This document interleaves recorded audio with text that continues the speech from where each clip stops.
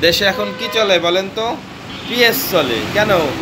জানেন পেঁয়াজের দাম হয়েছে আশি টাকা। ঈদের ভিতরে, রোজার ভিতরেও পেঁয়াজের দাম ছিল মাত্র তিরিশ টাকা, পঁচিশ টাকা, পঁয়ত্রিশ টাকা। সেই পেঁয়াজ আজকে আশি টাকা। কারণ কি? কি এমন ঘটলো যার কারণে পেঁয়াজের দাম আশি টাকা হয়ে গেল? হ্যাঁ? আপনাদের কি মনের ভিতরে একবার প্রশ্ন ওঠে না যে পেঁয়াজের দাম আশি টাকা কেন? কিসের জন্য পেঁয়াজের দাম আশি টাকা হইল? এই প্রশ্নটা কি আপনাদের মনের ভিতরে জাগে? আমার তো মনে হয় না কারও মনের ভিতরে জাগে। জাগলে সবাই জিজ্ঞাসা করতেন হ্যাঁ ফেসবুকে ছাড়লেও ছাড়তেন যে কী রে ভাই, পেঁয়াজের দাম বাড়ছে কিসের জন্য? হ্যাঁ কেন বাড়লো? আপনার আরেকটা কথা আমি বলি। আমাদের পার্শ্ববর্তী দেশ ইন্ডিয়াতে ইন্ডিয়াতে আপনার ডিমের হালি বলে বারো টাকা। এটা আমি শুনছি। শুনছি কি, এক আন্টি আপনার গেছিল ইন্ডিয়ায়। এই দুই একদিন আগে আসছে, দুই দিন হয়েছে মনে হয়, দুই দিন আগে আসছে উনি। তো উনি আজকে বলল যে পেঁয়াজে পেঁয়াজ না মানে ডিমের হালি ইন্ডিয়ায় বারো টাকা। ওদের বলে, আগে বলে দশ টাকা করে ছিল, এখন দুই টাকা বাড়ছে। তাই বলে ইন্ডিয়ার মানুষ চিল্লাইতেছে যে, কিরে, বারো টাকা ডিমের হালি হলো কেন? আবার ক্যাপসিকামের দাম, আমাদের বাংলাদেশে যে ক্যাপসিকামের দাম চারশো সাড়ে চারশো টাকা কেজি, সেই ক্যাপসিকামের দাম আপনার ইন্ডিয়াতে পঞ্চাশ টাকা কেজি। বাংলা টাকা, কয় টাকা হিসাব করেন একটু। আবার আপনার বলেন যে পেঁয়াজ, জিরা সেগুলোর দামও কম। আদা, সেগুলোর দামও কিন্তু ইন্ডিয়াতে কম। ইভেন আপনার বাংলাদেশে আমাদের যে কালকে আমরা, আমি বাজার করছি, কালকে দেখলাম যে আপনার বাজারে জিরার দাম, প্রচুর পরিমাণে জিরার দাম বাড়ছে।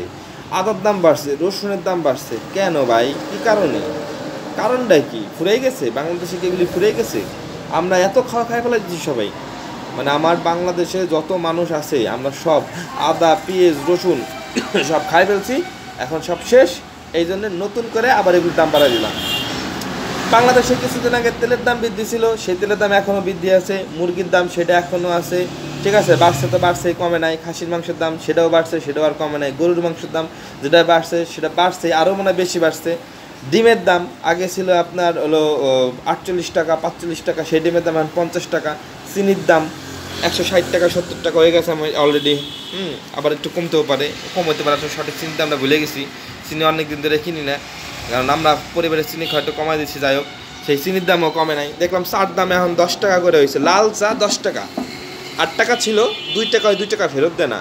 ওই জন্য আমি দশটাই ধরি, ঠিক আছে? লাল চা হয়েছে দশ টাকা, দুধ চা পনেরো টাকা। তাই ভাই, কি খাব আমরা? কি খাই বাঁচবো?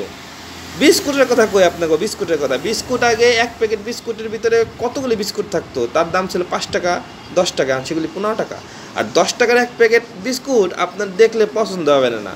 আর পঞ্চাশ টাকা, ষাট টাকা দামের যে বিস্কুট তার তার- থেকেও বেশি যে দামের বিস্কুট, সেগুলি এখন এরকম চিকন চিকন বানায়। দেহে ভক্তি আসে না। কারণটা কি? কি ভাই, মাইরে ফেলাই দেবেন আমাকে? মাইরে ফেলাই দিলে মাইরে ফেলাই দেন সব করে একবারে বিরাস পার করে দেন। হিটলারের মতো মরে টরে যাই আমরা ভালো ঠিক না?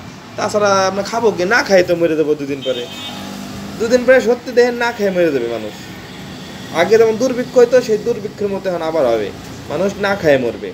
দিয়ে নিন মিলিয়ে নিন এখনও সময় আছে, সবাই প্রশ্ন করুন, প্রশ্ন যে কেন, কিসের জন্য এত দাম বৃদ্ধি পাইতেছে? কোনো একটা ফয়সলায় আসেন।